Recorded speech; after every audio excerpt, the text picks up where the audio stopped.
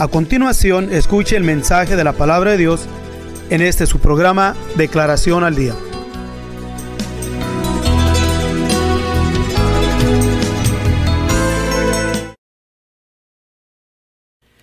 Proverbios capítulo 25, versículo 21 nos dice así. Si el que te aborrece tuviere hambre, dale de comer. Voy a volver a leer el versículo. Si el que te aborrece tuviere hambre, dale de comer pan. Y si tuviere sed, dale de beber agua, porque ascuas allegas sobre su cabeza. Y el Señor te lo pagará. Proverbios capítulo 25, versículo 21 y 22. Hay una expresión muy común que se genera dentro de lo que es dentro de lo que es este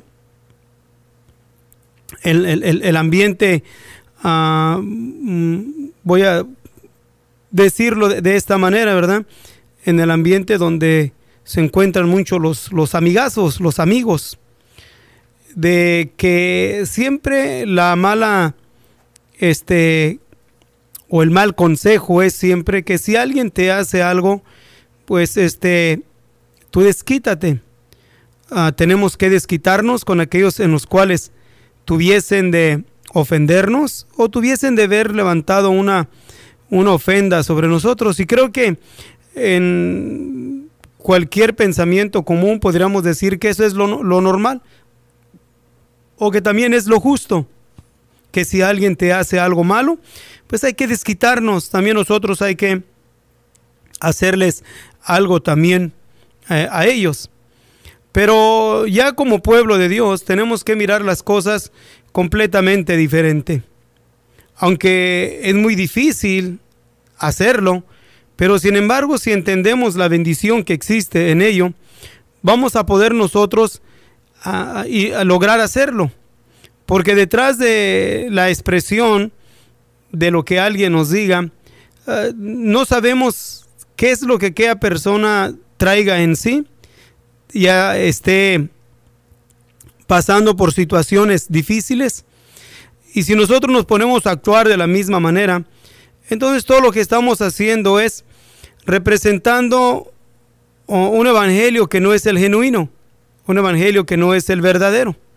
Pero ¿cómo podríamos nosotros lograr el que si el que te aburriese tuviese hambre, darle de comer? ¿Cómo podríamos nosotros lograr hacerlo? Porque si alguien te aborrece, no nomás alguien le caes mal o alguien no te habla, no, alguien te aborrece y el que te aborrece va a buscar hacerte mal. Ese que te aborrece no es confiable. La persona que te aborrece siempre va a estar acechando y va a esperar la más mínima oportunidad para desquitarse, para hacerte algo malo a ti. Y, esa actitud de alguien que te aborrece es incómoda. Lo podemos nosotros experimentar en las áreas de trabajo. Cuando hay alguien en lo cual eh, tú no le caes bien o sientes tú que alguien eh, este, le caes mal, sientes tú que, que simplemente no, no puedes engranar con él. Se crea un ambiente estresante, un ambiente incómodo, un ambiente que no, no es agradable. Y más cuando aquella persona tú intentas tratar de llevártela bien y en vez de que esa persona responda a tus buenas acciones, más bien te desprecia, aún te critica, te juzga, te levanta falsos y te pone en una posición donde inconscientemente también empezamos a tomar una actitud semejante al que nos aborrece, o sea, también de desprecio, de coraje. Y, empezamos a caer en ese mismo círculo. Por eso nos es importante que, que entendamos que para que nosotros podamos lograr eso, es necesario que nosotros estemos también liberados de esa actitud, liberados de ese comportamiento. Porque nadie puede de sí mismo sobrellevar a alguien en el cual él sabe que simplemente eh, lo, aborrece. Y en, muchas ocasiones no es tanto porque le hayas hecho algo malo. Simplemente caes mal porque tú no sigues las conductas y las actitudes de los demás. Empiezas a ser despreciado porque no te ríes de las de los chistes o de las puntadas que ellos salen. No caminas conforme a sus propios comportamientos y actitudes. No vas a los ambientes o las fiestas que ellos te invitan. Y simplemente el hecho de no seguir el estilo de vida de los que te rodean, sin darte cuenta, tú mismo ya empiezas a ser odiado y empiezas a caer mal. Y cuando menos esperas, eh, tú vas a ser siempre el, el, el, como se dice un dicho, el conejito de la India.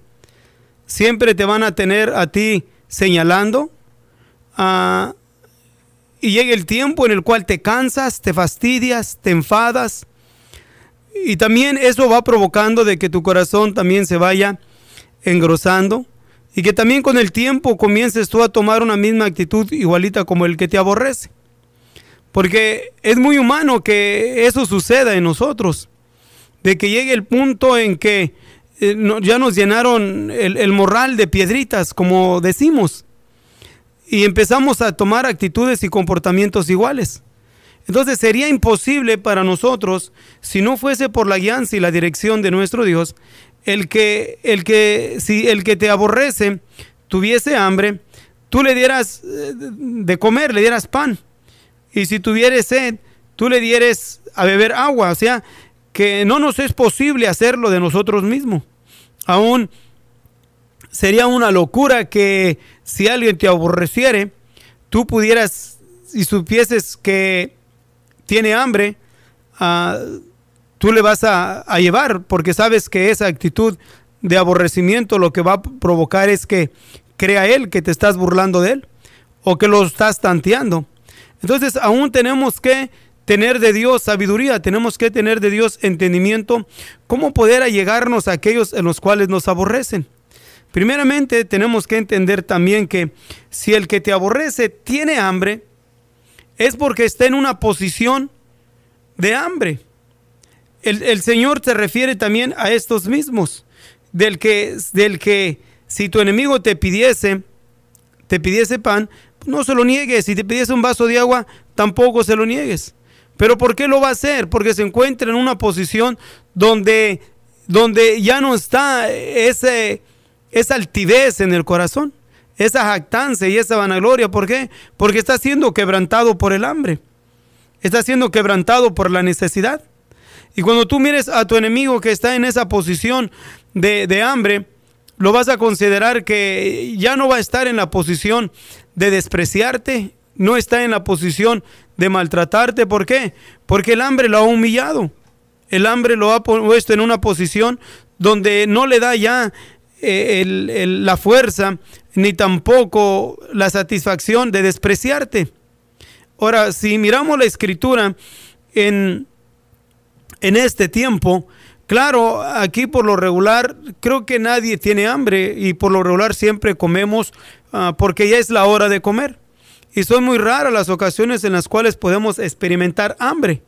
Se llega el tiempo en el cual acostumbramos a comer y automáticamente nuestro sistema ya reconoce el horario y a esa hora ya eh, nuestro sistema este, te está ah, pidiendo que le des algo aunque no tengas hambre. ¿Cuántas ocasiones no nos sentamos a comer nomás porque ya es la hora de comer, pero sin tener hambre? Y comemos simplemente porque ya es hora de comer aquí. Pero no podremos decir tampoco que si alguien del cual te, aborrece y estás en una cafetería y, está ahí nada más y por X razón tú crees o él mismo experimenta tener ah, sed porque trabajaron duro, tiene sed, pero sin embargo tú tienes agua, aun si tú le ofreces agua en ese instante, vas a correr un gran riesgo de que te va a despreciar y te va aún hasta maltratar. ¿Y qué es lo que vas a hacer? Vas a ponerte en la posición de que también eh, te molestes, te enfades y, y tal vez hasta ocasiones un conflicto. Entonces tenemos que pedirle a nuestro Dios que nos enseñe el, tiempo, cuándo es el tiempo eh, y, en qué posición se encuentra nuestro enemigo, pues si es que nos pidiese de comer o que nosotros estuviésemos conscientes de aquella persona el cual nos aborrece, esté en una posición, en una situación donde está pasando hambre. Ahí tenemos nosotros ya de Dios el respaldo de ir a ofrecerle de comer, porque hay una garantía de que el hambre tiene aquella persona bajo, bajo aflicción, bajo dolor, en humillación. Y no te va a despreciar. ¿Por qué? Porque tiene hambre. Y digo, y no estoy hablando del hambre de la cual aún decimos aquí que ah, tengo hambre y tiene bastante comida ahí en su casa y mejor se va a comprar algo a un restaurante. Se está saciando su apetito, solamente está saciando por un antojo, no está saciando el hambre. No estoy, estamos refiriéndonos a hambre, a lo que es en sí pasar hambres.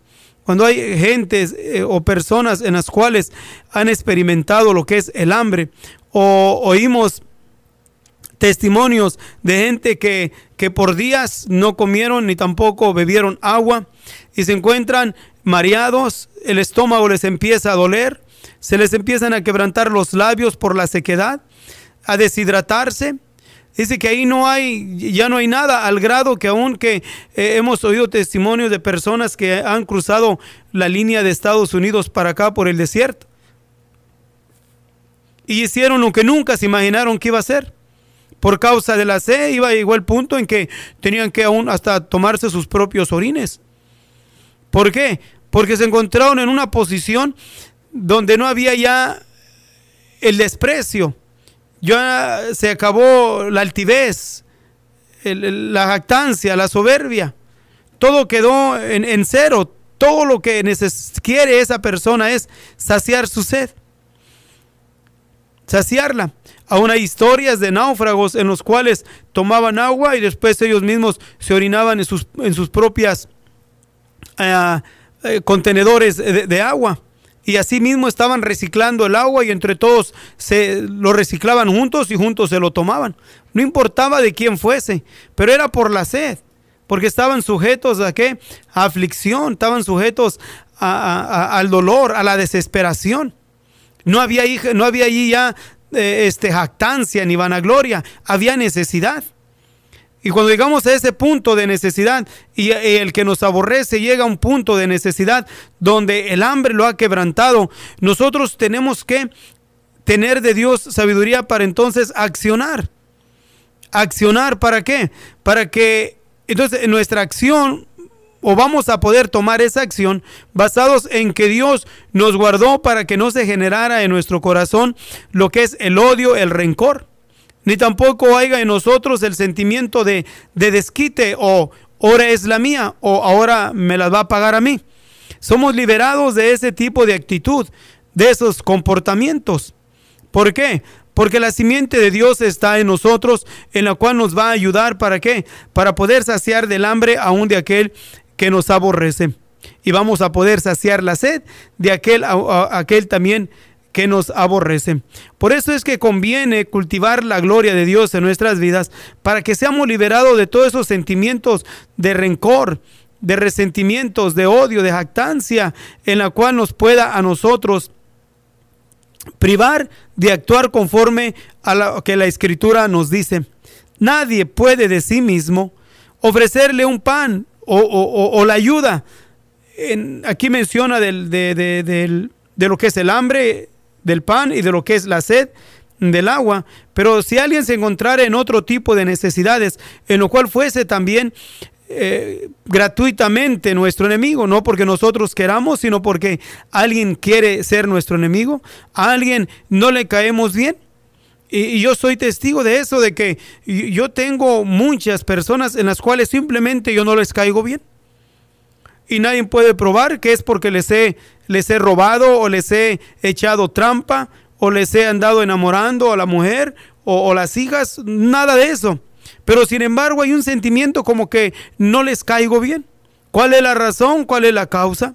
Muchas veces las ignoramos, pero cuando aún yo mismo he estado consciente de aquellas personas en las cuales yo sé, me consta que aún han hablado mal de mí, no me he rehusado extenderles la mano, no me he rehusado eh, eh, ayudarlos. ¿Por qué?